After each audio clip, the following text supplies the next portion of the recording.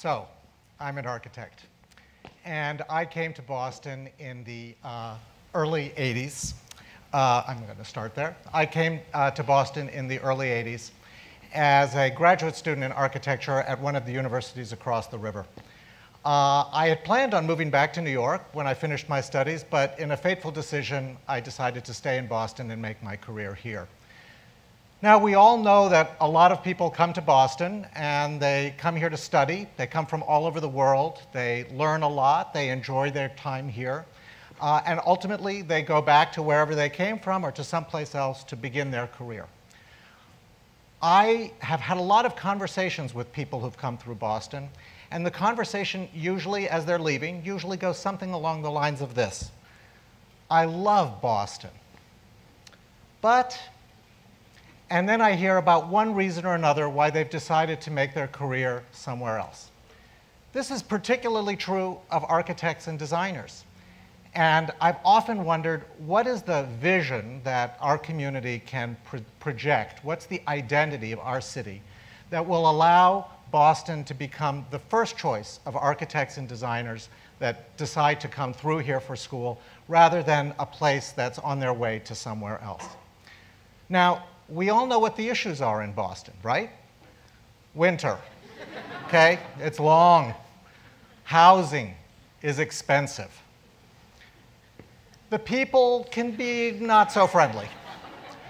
And also maybe a little provincial.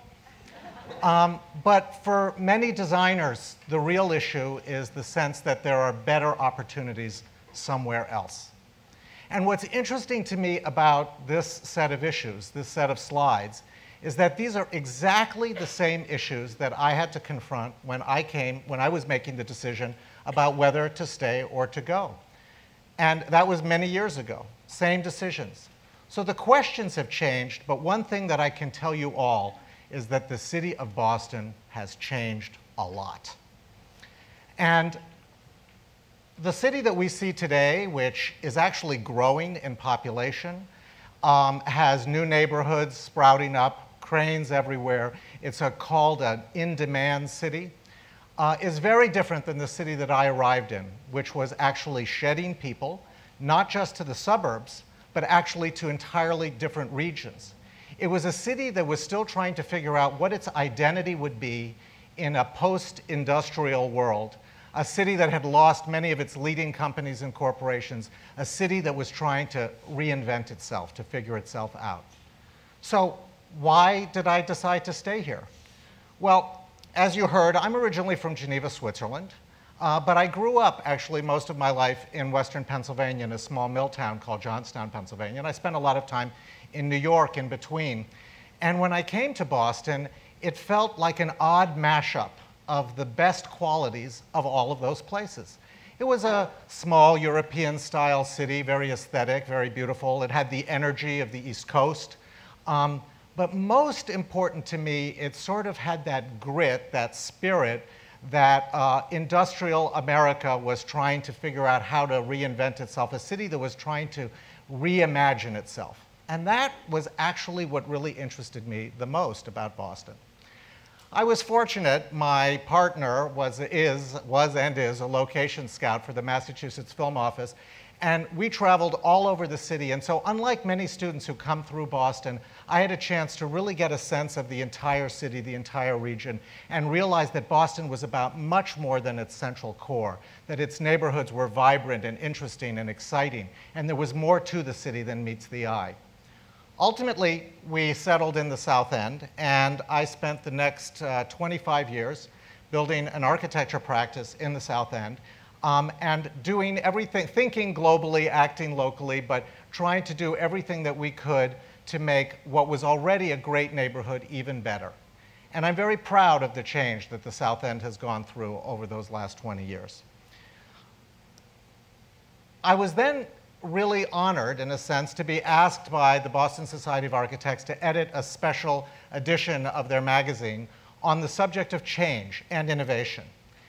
And what I decided to do with that magazine was actually pose the question back to the architectural and design community and say, our city is changing in many, many ways.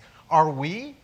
Are we taking advantage of the fact that our city is transforming and becoming innovative and doing things that, that were not necessarily, that I didn't think were necessarily happening in the design community?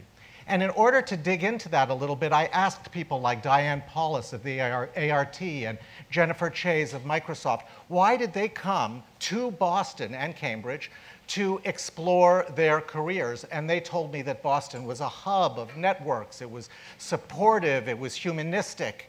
And all of those questions made me go back to thinking about the design community and whether we were thinking about our community in the same way that these folks were thinking about theirs. So this brings me back to the subject of a young person who's graduating from school and trying to figure out whether Boston is the right place for them. What questions should they be asking of us and what kind of vision should this city be offering to them? And I think of it a little bit as a kind of a job interview. Uh, is this job right for me? Is this city right for me? So the first question that anybody would ask is, will Boston match my expectations? And the interesting thing about expectations are expectations are about the future. It's not about the here and now, it's about whether this city will be a good city in five years, 10 years, 15 years for me. And we're living in a very interesting moment in Boston. Boston is a city where mayors matter. And we have a new mayor, and that mayor has stated that he wants world-class design to be a central element of our identity as a city going forward. Now, I've been here 30 years, and I've never heard that before. So we should take him up on this challenge. And in fact, he's asking for our opinion. Boston is about to launch the first master planning process that it's had in 50 years, and he's crowdsourcing ideas on this uh, website, Imagine Boston 2030. And absolutely everybody in this room should go to this website and tell the mayor what you think this city should look like in 15 years. Um, you know, when I first came to Boston, Logan Airport was a gateway to LaGuardia.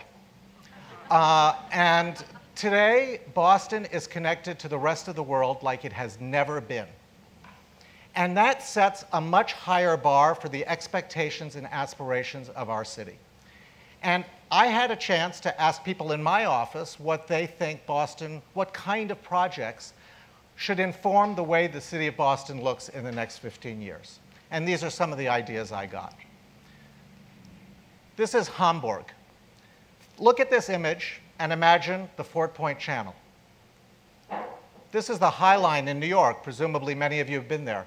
Imagine the architecture along the Greenway being as exciting as the architecture along the High Line.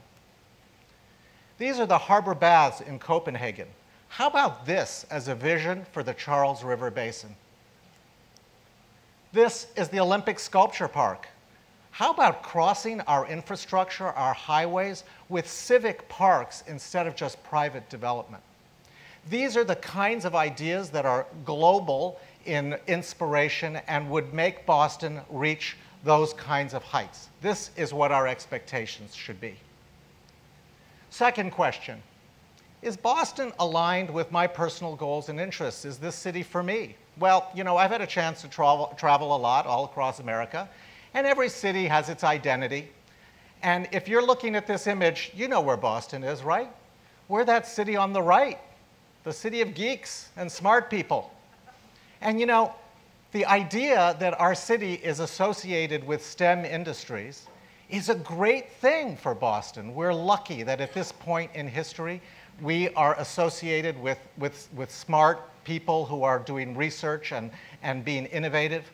I would like to see a change in that. I would like to see the creative economy blended with the STEM economy so that our identity is not just about scientists and engineers, but it's about creative people, architects, designers, working together with scientists and engineers to create an identity for the city that is not a STEM identity, but is in fact a STEAM identity. And you'll be hearing more about STEAM in a few minutes. But I think that idea that magic is where these places, where these two ideas converge, should be the way that the whole world thinks about Boston. Next question. If I commit to Boston, will this city support me? Will it incubate me? Will it help me achieve my goals? And quite honestly, I have to tell you, this is a place where we have work to do. Boston, because of its universities and many other reasons, has long been known for incubating really talented young design, small design firms, and for actually also fostering interesting design organizations like Design Museum Boston. Um, where we fall down, though, is that we don't give these firms the opportunities to really showcase their talents here in Boston or in the Boston area, and we don't really find the funding to get these other organizations off the ground. Now, I could spend a lot of time talking about all the incremental ways that I think that this should change, but I'm going to give you a big idea instead, which is that Boston should harness its talent and really focus on the big issues, big issues that are going to matter to the city. Right now, we're talking about the Olympics, but we have a much bigger issue, and that is that in 2030, 350 years of the hard work that architects and others have done is seriously under threat. And we should be harnessing our brilliant minds and, and designers to work together to show the world how a city like Boston is going to deal with this issue. And if that sounds like a crazy idea, if this sounds like very pie in the sky, let me give you some other examples. When I did the Architecture Boston Change issue, uh, it, I looked at a lot of indices that compared Boston to other cities, global indices. And the Knight Frank Global Index is one. It's sort of a real estate power list. And at that time, Boston was sandwiched between Milan and, and Miami. We don't often think of ourselves as being compared to cities like Milan and Miami, but there we were. And today, Milan, as we sit here, is hosting a World Expo that is talking about how design can solve problems of world hunger. And Miami is catapulted to the top of the contemporary art world through the expansion of its Art Basel program. What are we doing? These are cities that have put design at the forefront of their identity. And by the way, they have both risen in this index and we have fallen. So the idea that incubation and support of our industries can happen through design leadership is the idea that I would like to present here today. And so finally, the last question is, will I be happy in 2030 that I made the decision to, to stay here and to make a career here? Well, you know, a lot of factors affect people's lives and whether they're happy that they did this or that. But I can tell you that the longer I've been here, the more that this quote by my dear friend George Thrush really resonates with me that this is a city about ideas. And the more time I spend here, the more I appreciate that about this place. You know, the notion that the American Revolution was born here, or that really important ideas and institutions like the Boston Public Library started here, may seem like ancient history to uh, some of us in this room. But the truth is that this city is still a very revolutionary city.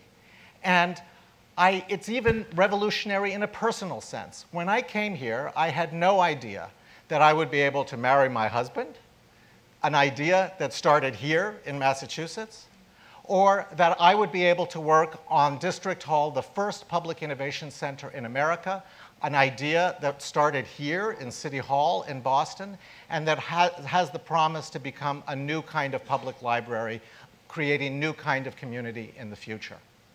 So Boston is a city that punches above its weight, and we have to embrace its small size and accept that that is a strength. You know, my agenda my response to the mayor's idea about 2030, about what he would like us to see, is the following. I would like to see the creative economy integrated into the science and education-based economy as an identity for this city. I would like to see those communities working together to create an international forum for solving big problems with design at its center. I would like to see this city demonstrate global leadership in design by both established and emerging firms. But I want to make the point that this next 15 years is not just about building a few good buildings. This is about changing the identity of this city and the relationship that design has to the identity of this city. Now, this is a big task, and I accept that. But if the creative, uh, creative community, the design community, and the rest of the community work together and harness our revolutionary spirit, this is possible. And I guess I just want to say that my observation about Boston is that it has risen to every challenge that has been presented to it, economic and in every other way. It always reinvents itself, rejuvenates itself, renews itself. And I'm glad I made the choice to come to Boston and not move back to New York. And that's why I can tell everyone here that despite the weather, I love Boston, period. Thank you.